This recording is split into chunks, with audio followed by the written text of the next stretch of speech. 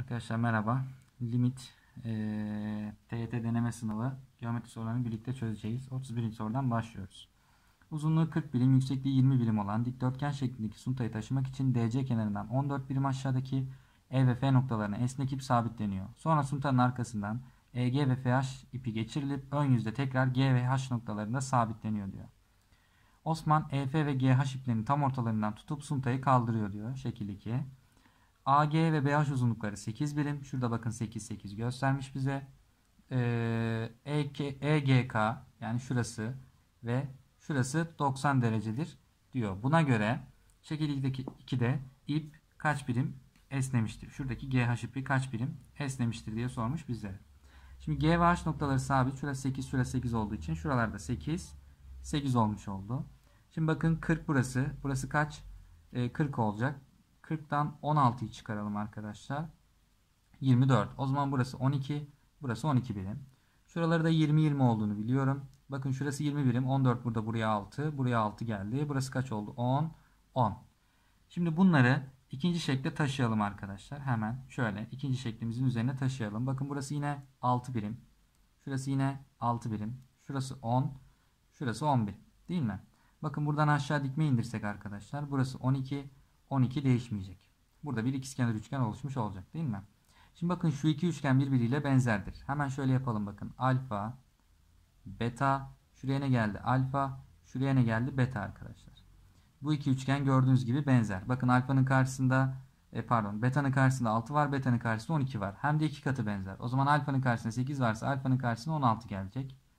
12, 16 burası kaç olacak? 20. O zaman bu da 20. Dolayısıyla bakın ip ikincisinde ne kadar uzunlukta oldu? 40 santim uzunlukta oldu. Birincisinde ne kadar uzunluktaydı? E, 24 birim uzunluktaydı. Aradaki fark, farkı soruyor bize. Kaç birim esnemiştir diye soruyor. 16 birim esnemiştir. Yani doğru cevap B seçeneği olacak. Evet 32. soruya bakacağız. ABC ikizkenar üçgeni biçimindeki kağıt şekil 1'de verilmiştir. AB ile AC uzunlukları 10'ar santim, BH ile HC uzunlukları 6 santim, IH dik BC'dir diyor. Şurada gözüküyor arkadaşlar. Kağıt IH boyunca kesilip şuradan kesiyoruz kağıdı. Bunu buraya katlıyoruz. Bunu da buraya katlıyoruz. Nasıl katlıyoruz bakın. IB şöyle çok kötü çizdim. Ve IC boyunca katlanıyor. Şimdi bunu buraya katladığımızda arkadaşlar şurası açıortay olmalı. Tam üstüne geldiği için bakın H1 buraya gel, H2 buraya gelmiş. E, H1 de aynı şekilde buraya gelmesi için buranın da açıortay olması gerekiyor. Bakın şöyle yapalım. Şuradan dikme indirelim. Şurası H1. Şuradan dikme indirelim. Şurası H2 doğru mu? Bu 6 buraya geldi. Bu 6 buraya geldi. Buralara 4. 4 kalmış oldu. Şimdi bunu ikinci şekilde taş taşıyacak olursak bakın H1 H2 mesafesini istiyor. Şurası 4, şurası 6 birim. Şurası 4, şurası 6 birim. Şunu tekrar birleştirecek olursak bakın burası kaç birim? 12 birim. Şimdi H1 H2 mesafesini birleştirirsem buraya x diyecek olursam 4'e 6, 4'e 6. Bakın bunlar birbirine paraleldir çünkü aynı oranda bölüyor. O zaman temel orantı yapabiliriz. 4 bölü 10. Şuraya yazalım. 4 bölü 10 eşittir diyorum. X bölü 12. Buradan bakın gerekli sadeleştirmeleri yapalım.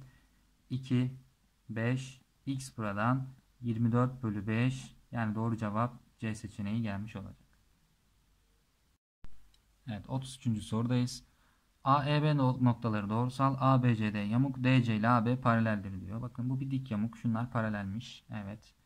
FC ile DC diktir diyor. Onu gördük zaten. FC ile DC dik dik yamuktur bu. Evin altında bulunan garajın ölçüleri yukarıda verilmiştir diyor. Bakın okuyalım. Duvarın bulunduğu A noktasının E noktasına uzaklığı yani şurası 12 metre diyor. Güzel.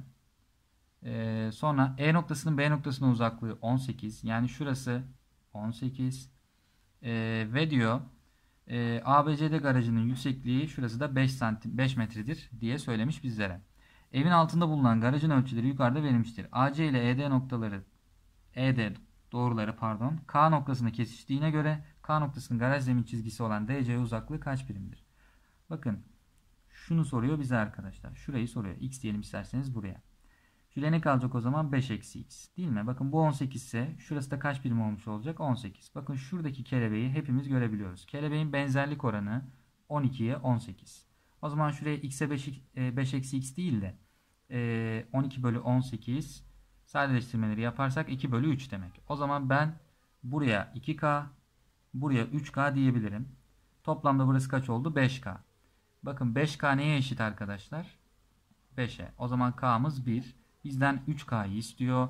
3 olacak. Yani doğru cevap D seçeneği olmuş olacak. 34. soruya gelelim. Basit bir iki nokta arasındaki uzaklık sorusu. Bakın A'yı vermiş, B'ye vermiş. İki nokta arasındaki uzaklığın nasıl bulunduğunu bize söylemiş. Biz zaten bunu biliyoruz. A noktası ve B noktası verilmiş. A, A ile B arasındaki mesafede kök 5 birim olduğuna göre K'nın negatif değeri kaçtır diye sorulmuş. Hemen bulalım. Nasıl bulunuyordu bakın. X'lerin farkının karesi artı y'lerin farkının karesi. Hangisinden hangisini çıkardığınızın bir önemi yok. Bunun kare kökü AB arasındaki mesafeye eşitmiş. Şöyle yazalım. AB burası. Buradan bakın burayı düzenleyin. 1 artı k kare 5'e eşit olmuş olacak. Doğru mu? Ee, buradan k kare 4 k'mız 2 ya da eksi 2 olmuş olacak. Yani doğru cevap E seçeneği olacak. 35. soruya geldik. AB ile BC dik. Şurada bize bir dik üçgen verilmiş ve BC kenarı üzerinde bir tane E noktası işaretlenmiş. 1 birim ve 7 birimlik bir E noktası işaretlenmiş. Sonra diyor ki arkadaşlar bakın DF ile AB paralel olacak şekilde bir F noktası al diyor. Bakın şu şekilde bir F noktası aldık. Şunlar paralel olmuş olacak. Ee, o zaman burası 90 derece. Bakın 45 45 diyebiliriz hemen. Diyor ki arkadaşlar bunu tutup buraya katladığınızda burası üst üste gelmek zorunda diyor. O zaman bakın şuraya A derseniz şurası da A olmak zorundadır değil mi? Evet güzel. Ee, B e, çok pardon buraya gelmektedir değil. Çok özür dilerim. Şöyle yapalım bakın. Bu nereye gelecekmiş? B noktasına gelecekmiş. Şöyle arkadaşlar. Şu şuraya geliyormuş.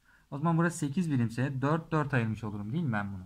O zaman buraya 4 buraya 3 gelecek ki tam oradan katladığımda B ve C noktaları çakışabilsin. Buna göre EFD üçgeninin alanı kaç birimdir diye sormuş. Bakın şurayı ben dik buldum. Şurayı 3 buldum. Şurayı bulmam lazım arkadaşlar. Bakın 4 ise şu da 4 olacak. 45-45'ten. O zaman bu kısmın alanını soruyor bize. 3 çarpı 4 bölü 2'den e, 6 birim olmuş olacak. Yani doğru cevap B seçeneği olacak.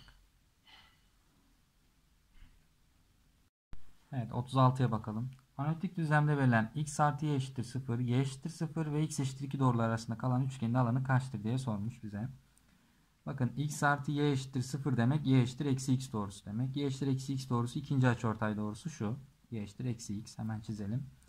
E, y eşittir 0 demek arkadaşlar. y'lerin 0 olduğu yer neresi? x ekseninin üzeri. y eşittir 0 demek x ekseni demek.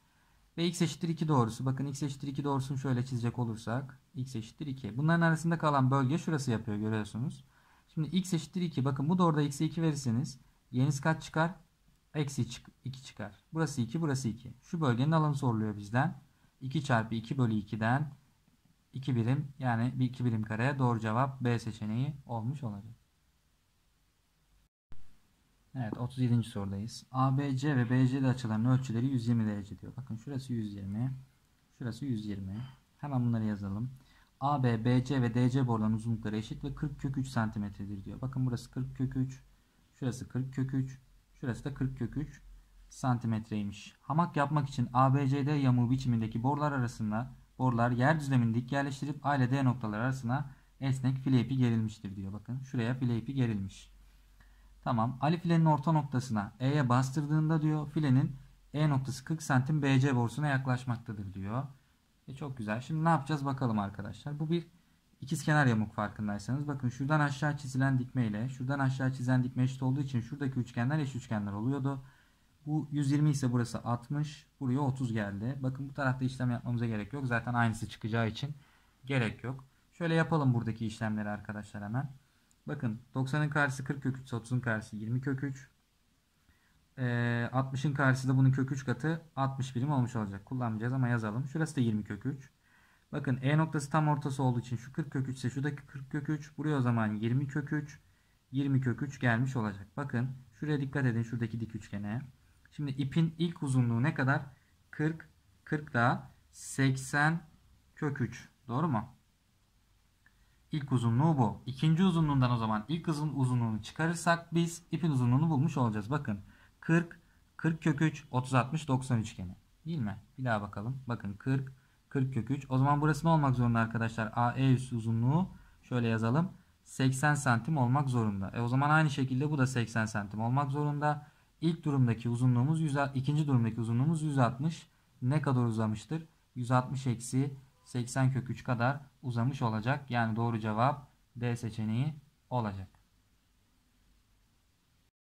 Evet 38. sorudayız. Yukarıdaki cihaz dairesel bir tansiyon saati üzerinde 0 ile 300 derece arası eşit aralıklara ayrılmış ve A ve B açısının ölçüsü 30 derecedir. Ben bunu şöyle biraz daha büyük çizmek istiyorum. Bakın şöyle. Şurası O, şurası A 0, şurası B, burası da 300. Şurası da kaç dereceymiş? 30 dereceymiş arkadaşlar. Diyor ki arkadaşlar bakın 120 ile e, melek hemşire hastanın nabzını ölçerken ibre sırasıyla 120 ve 80 sayıların üzerine duraksayarak ilerlemiştir diyor. Bakın 80 şurası olsun. Rastgele çiziyorum. 120 burası olsun arkadaşlar. Şu aradaki mesafeyi soruyor bize. Alfa diyelim arkadaşlar. Burayı soruyor. Ee, ne yapacağız arkadaşlar? Bakalım şurası kaç derece toplamda bakın. 330 derece. Ben 300'lük kısmı 330 derece ile ifade ediyorum. Değil mi? Peki e, yani toplamda aralığa bakıyorum buradan. 300'lük bir aralık var. 300'lük bir aralığı 360 dereceyle 330 dereceyle pardon ifade ediyorum. Ben kaçlık aralığı soruyor bana? 40'lık. O zaman 40'lık aralığı ne kadar kaç dereceyle ifade ederim diye doğru orantı şeklinde bulabiliriz. Buradan içler dışlar çarpım yaparsak e, 330 çarpı 40 bölü 300 eşittir soru işareti diyelim. Bakın sıfırları sadeleştirelim. 3 ile 33 sadeleştirdim. 11. Buradan cevap 44 derece yani E seçeneği olmuş olacak.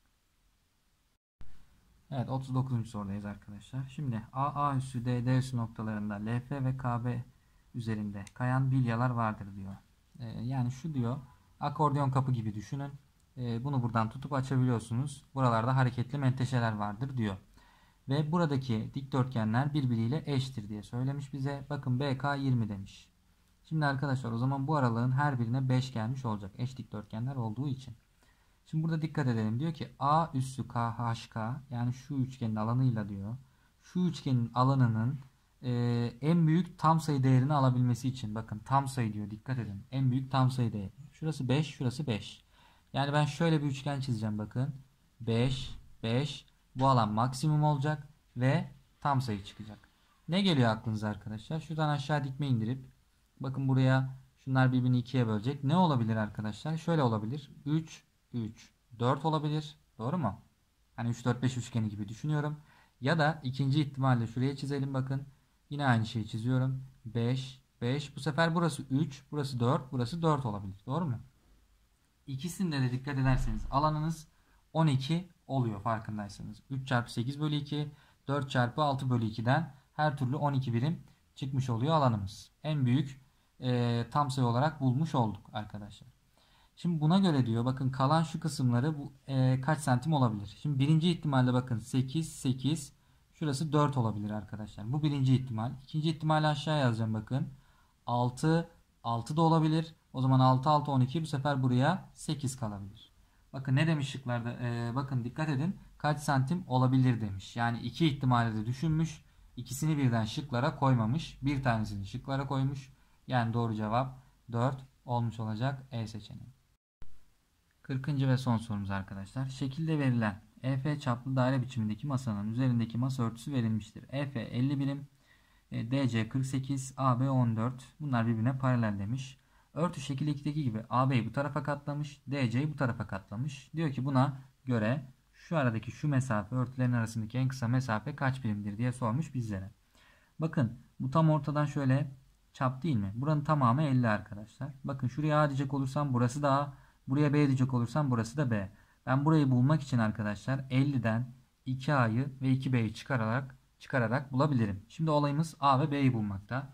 Bunun için temiz bir sayfa aldım sizlere. Bakın şöyle çizeceğim. Şöyle çizelim çemberimizi. Hemen şöyle şuraya alayım. Bakın EF burası. Şurası arkadaşlar AB'ymiş. Şöyle gösterelim bakın. AB. Ve AB kaç birimmiş? 14 birimmiş. Şuraya yazalım 14'ü. Şurada da bir tane e, DC var. Hemen onu da gösterelim. DC de 48 birimmiş. Şurası da 48.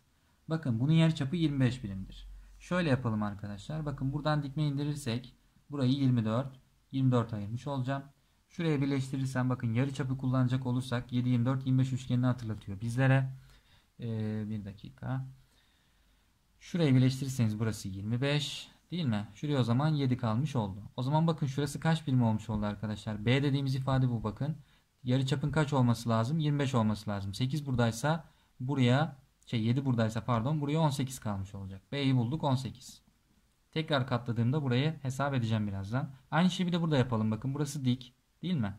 7. 7 ayrıldı. Şunu birleştirirsem 25. O zaman burası 24 oldu. Bakın bu sefer A dediğimiz ifade kaç olmuş oldu? 1 olmuş oldu. Şimdi A ile 1 dedik. Bunu tekrar katladığınızda, bunu tekrar katladığınızda bakın birazcık şekil karışacağı için ben şöyle yaptım işte. 50 eksi 2A eksi 2B dedim. Çünkü bakın bunu buraya katladığınızda 1 santim içeri girmiş olursunuz. Şöyle bu 18 ise buraya katladığınızda bakın buradan da 18 santim içeri girmiş olursunuz. Bakın 36 buradan yani 2B dediğim şey bu. Eksi 2 de buradan arkadaşlar. 2 eksi 36. Buradan ne geldi? 50 eksi 38. Yani doğru cevap 12 birim olmuş olacak. Şunların arasındaki şu mesafe C seçeneği olacak. Evet dinlediğiniz için teşekkür ederim arkadaşlar. Görüşmek üzere. Kendinize iyi bakın.